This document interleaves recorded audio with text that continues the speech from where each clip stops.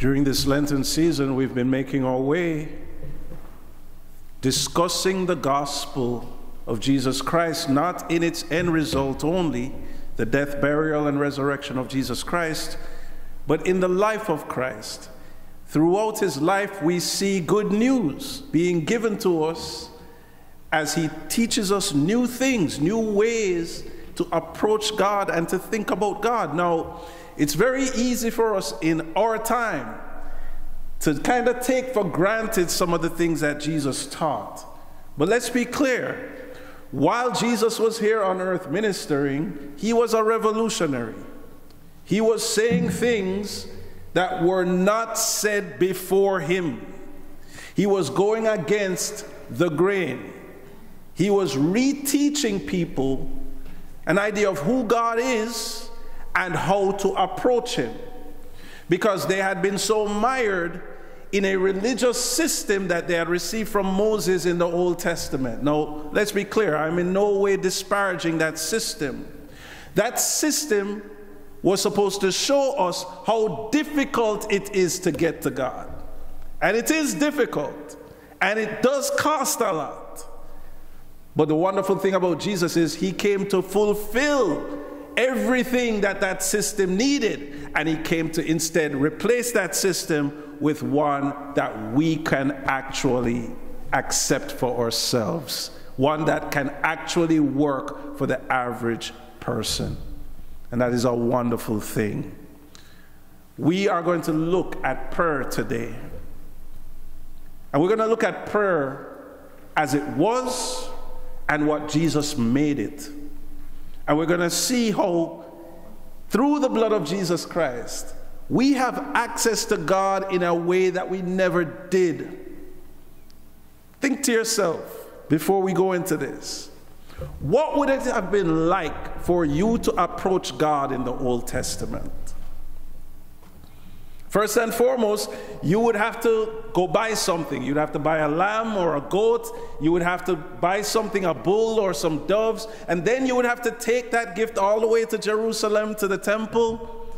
And instead of you being able to talk directly to God yourself, guess what you'd have to do? You'd have to take that stuff and give it to somebody called a priest. And the priest would have to be the one to go before God on your behalf.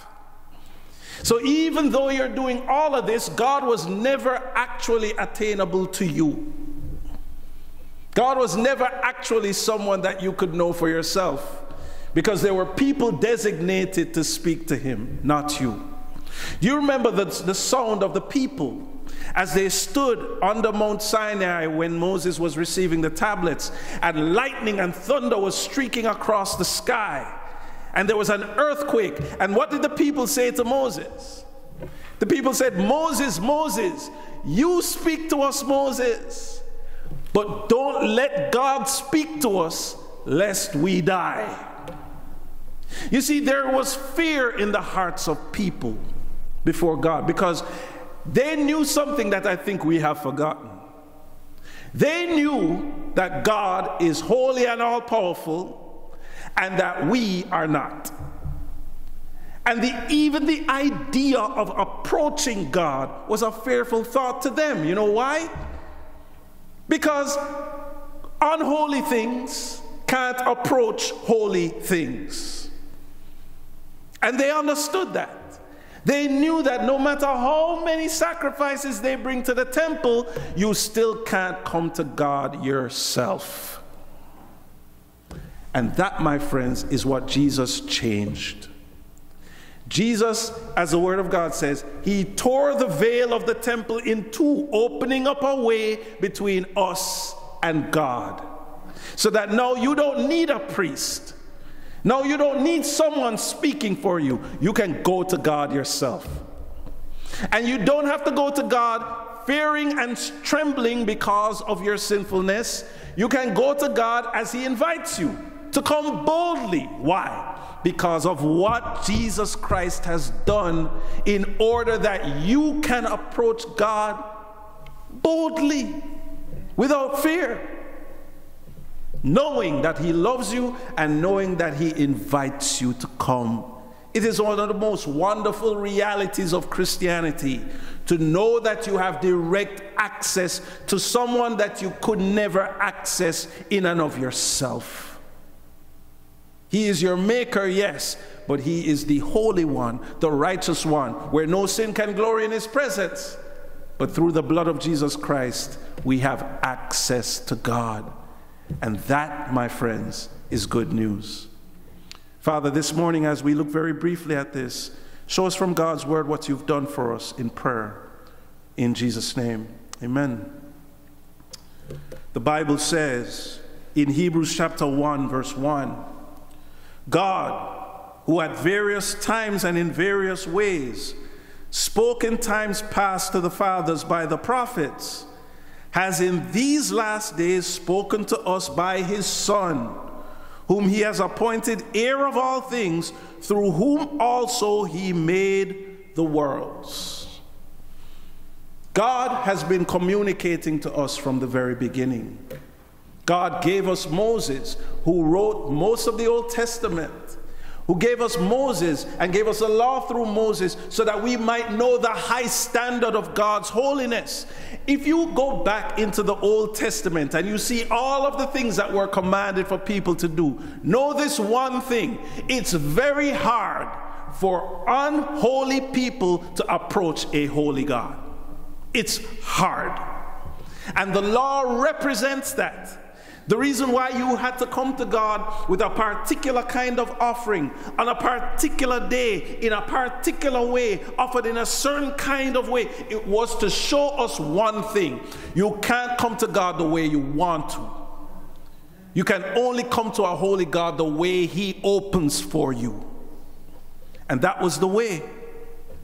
The way was hey, you have to come through difficulty, through challenge, knowing this one thing that unholy man and holy God cannot commune. The communion of God with man only comes on God's terms, not on man's terms. That's what the law was for. But we thank God. Jesus Christ came as the fulfillment of the law. He is the only one who has lived a sinless life, fulfilling all of the commandments of Moses doing exactly what God demanded, and that is why he is he is qualified to be our representative to God. Why? Because he did something that you and I could never do. He lived a sinless life, but not just that. He is Almighty God in flesh, so he is able to touch God because he is God. And so he touches God and he touches us, and through his blood, he brings us together. You see, that's the reason why you can't have grace of God and law at the same time. You have to make a choice. Either you're going to come to God through the ways that he has commanded you to behave, or you're going to come to God through his substitutionary atonement that he has made for you. And by the way, none of us can come this way because we've already proven that we're not holy enough to come this way. So if we can't come the way of living a perfect life, then we must come the way of atonement. Meaning, we have to accept a gift that was given to us so that we might actually have a relationship with God. It may seem technical, but it is so important to understand. Why? Because if you don't understand it, how in the world are you going to understand how to treasure it, how to treat it, and how to live? You see, religion is developed because for many of us, religion is our way of doing things so that we might be right with God. But we've already proven through the Old Testament that religion will never make you fully right with God. Because guess what? The same worship you give today, you're going to have to go back and give it tomorrow and the day after that and the day after that. Why? Because we keep on messing up, don't we? we keep on messing up. So we keep on needing the cleansing and forgiveness of God. But it never makes us fully right with God. The only thing that takes away our sin and makes us right with God is the substitutionary work of Jesus for us, where He took upon Himself all our sins, so that if we trust and believe in Him, we will be right before God through the justification that His blood gives us. It is not by works of righteousness which we have done, but according to what? His mercy that he saves us. That, my friends, is what Christianity is based on. It is moving away from this system of rules and regulations and moving to an understanding that the only way you can be right before God is to receive a gift. Receive a gift that he has graciously offered you free of cost through the shed blood of his son. Does that make sense? It is technical only to those who are not willing to realize you can't come to God your way. You have to come through the way that He has provided for you. God has spoken through His Son now. And His Son has been described in many places, and particularly in the book of Hebrews, as our great high priest. And there's a reason why he's referred to as our great high priest. Do you remember in the Old Testament? It was the priest who had to go between the person and God to offer the sacrifice. Wasn't that true? So Jesus Christ is described as our great high priest now because he is the one who goes between us and God and allows us to have relationship now. We don't go through a man, a flawed man or a flawed woman. We go through the perfect Lamb of God, Jesus Christ, who has proven that he is qualified for that job because he did not sin. Unlike all of us. The Bible says in Hebrews chapter 4, verse 14, seeing then that we have a great high priest who has passed through the heavens, Jesus, the Son of God, let us hold fast our confession, for we do not have a high priest who cannot sympathize with our weaknesses, but was in all points tempted as we are, yet without sin. Let us therefore come boldly to the throne of grace that we may obtain mercy and find grace to help in time of need. Do you see something different opening up to us through Jesus? It says here clearly that we can come now boldly to God's throne, the throne of grace. Why? Through Jesus Christ. The boldness is not because you're good enough or you're smart enough or you know enough Bible verses or you've been in church your whole life. That's not the reason why we're bold to come before God. Because you can be all those things and still not be worthy because of our sinfulness. You come boldly to God through Jesus Christ because it is the shed blood of Jesus that cleanses us from all our sin, past, present, and future. So when I come before God, He doesn't see me for who I am, He sees me for what Jesus has made me. One who is clean, one who is pure, one who is worthy. So I don't have to wonder whether I'm going to come before God to be judged or a lightning bolt is going to strike me. No, I can come boldly because everything Jesus did for me invites me to come that way. Everything He's done for me has cleared up this problem between me and the Father. So I come because I am justified before the Father, not because I'm perfect I come because I'm forgiven and justified, because I've accepted the gift He offered me. But this justification has opened up a door for us to God that we did not have before. In the Old Testament, we see people running away from the judgmental hand of God because God is always judging that which is sinful. His nature does not allow him to do anything but that. He is righteous through and through. But in Jesus Christ, now we don't have to run away anymore. We don't have to hide. We don't have to act. We can come as we are, not perfect, but forgiven. And that is what the church of Jesus Christ is. It's just a bunch of forgiven people who are still not perfect, but at the same time have internalized the reality of their forgiveness through Jesus Christ. See, that reality is supposed to make us feel humble. That reality is supposed to make us have a sense of true treasure for the commitment that we've made to Christ, where we honor Christ every day and we worship Him and love Him. You know the reason why most of us don't? It's because we don't understand what we have. Or many of us have never accepted it for ourselves. When you understand what God has done for you through Jesus Christ, there's only one response, you know, and that is humility and gratitude. You must be grateful because God did for us through Jesus something we could never have done for ourselves. So now we come to God in a different way. So, what do we learn through prayer? In Matthew chapter 6, Jesus is once again teaching people something brand new, something they never knew before. And he's teaching them primarily about prayer. And he begins the portion in chapter 6 by talking about the way that people are. He says in verse 1 Beware practicing your righteousness before other people, in order to be seen by them. For then you will have no reward from your Father who is in heaven. Thus, when you give to the needy, sound no trumpet before you, as the hypocrites do in the synagogues and in the streets, that you may be praised by others. Truly I say to you, they have their reward.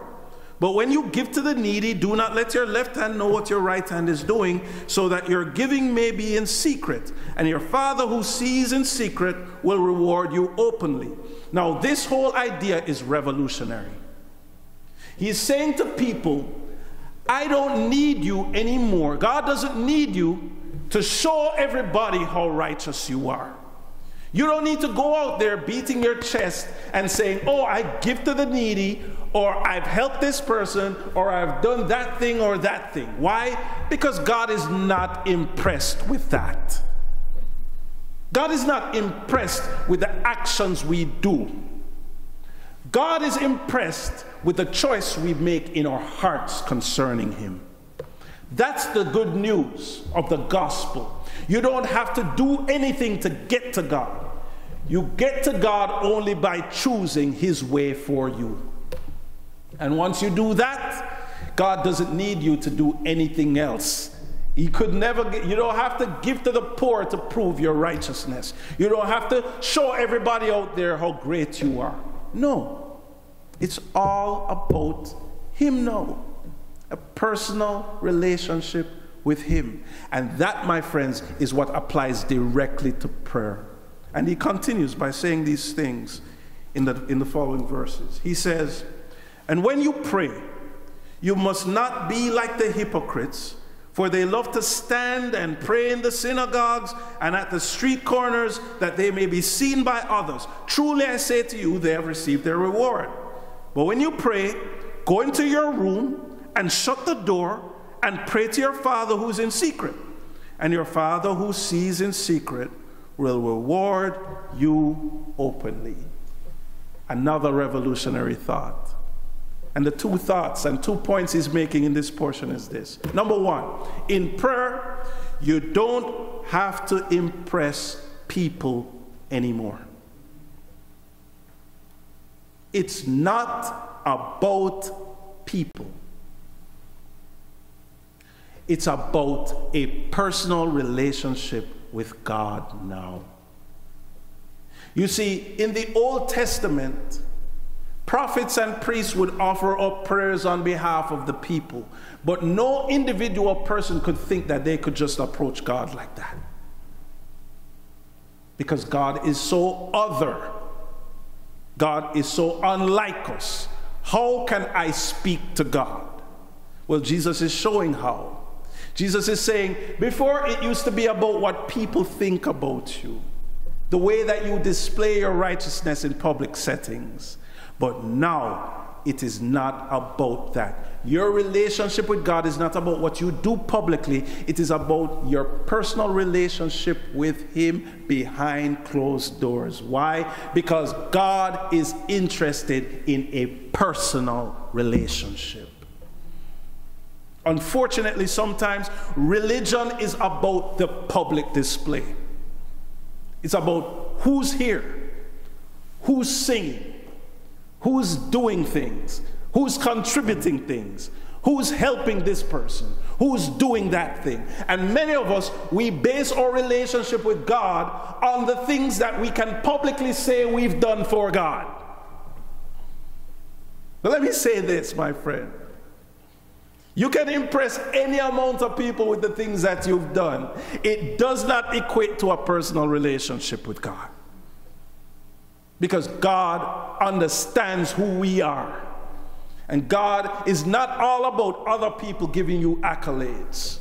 At this point, it is about understanding that the only real accolades we need must come from God Himself,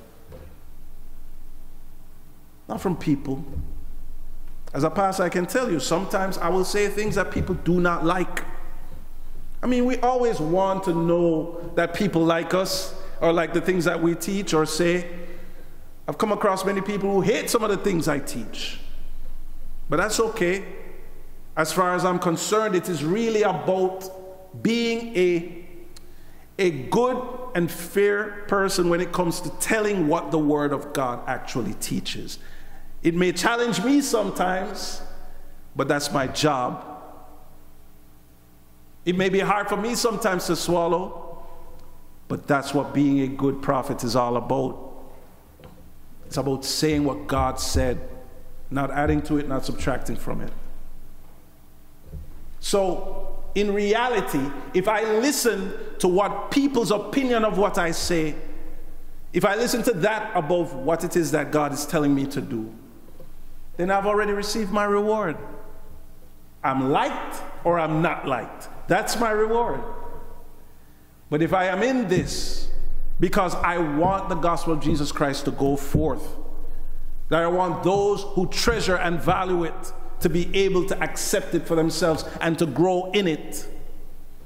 Then the reward, my friend, is not about people liking me or not liking me. the reward is the, the approval of God Himself. And that's fair for me. I'm good with that. I choose that any day above a pat on the back. Because God's thoughts about me matter a lot more than yours. a lot more. Because guess what? God can condemn me to hell. You can't. God can do more in terms of my hurt than you can. Eternally. And so, who should I treasure more? Man's opinion or his? It's not even close. It must be about God. So I don't do this to impress people. I don't pray to impress people, and neither should you. Prayer is now about I get to talk to God myself. I don't need to go through a priest. I don't need to go with any animal or anything. I can literally shut myself in my room by myself and speak to the Almighty who was, who was at one time afar off from me. that reality should ring bells in the mind of a person who does not know this. And it probably was for everyone listening to this sermon. You mean I can actually talk to God?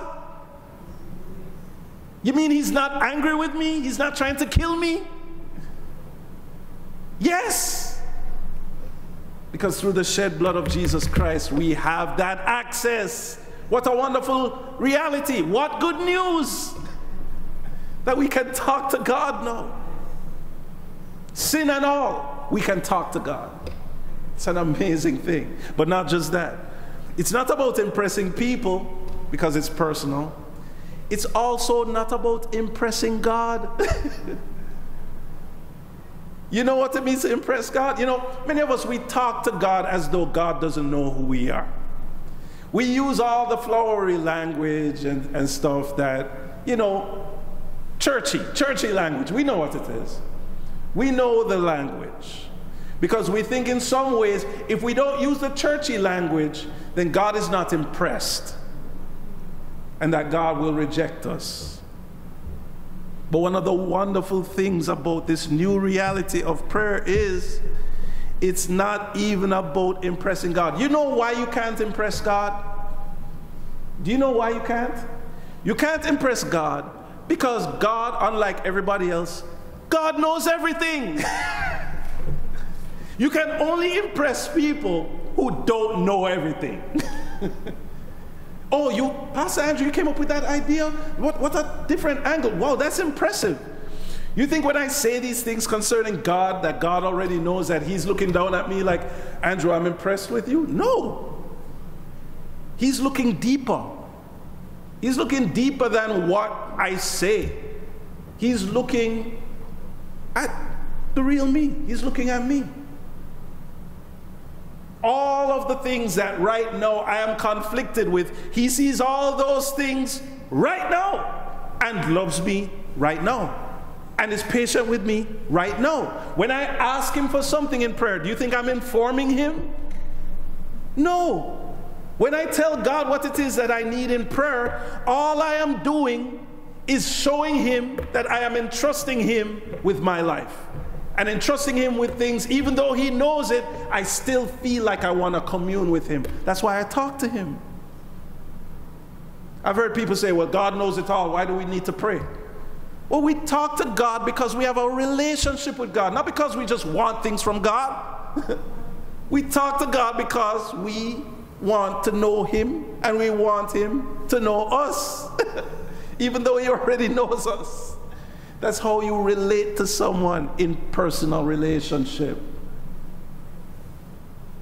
Stop using the excuse of God's knowledge to keep us from having a true and honest and real relationship with God. I tell God every day, I'm like, God, you see my heart. You know my conflicts. You know the issues that I'm dealing with. You know the struggles that I have with your word. You know the struggles I have with myself. You know all my good. You know all my bad. You've accepted me for who I am. Lord God, please be patient with me. Lord God, please help me. Lord God, please show me things I've never seen before.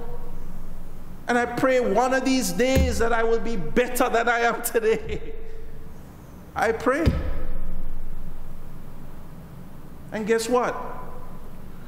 To me, those are the best kind of prayers. Why? Because they're real. We don't need to impress God. He knows the truth. He knows the truth.